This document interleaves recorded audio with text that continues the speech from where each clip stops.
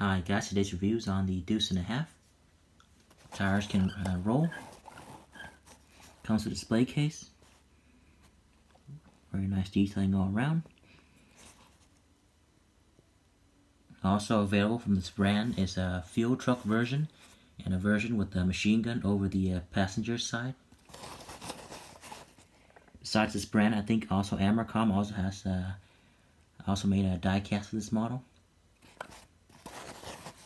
That version has a canvas and a machine gun. It's a die-cast metal on this one.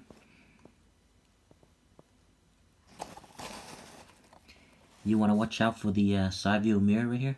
It's very uh, thin.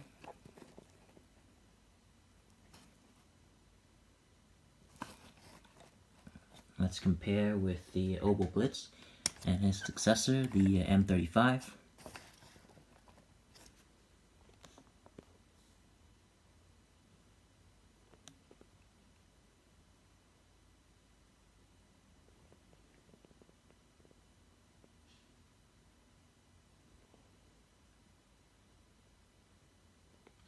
Thanks for watching.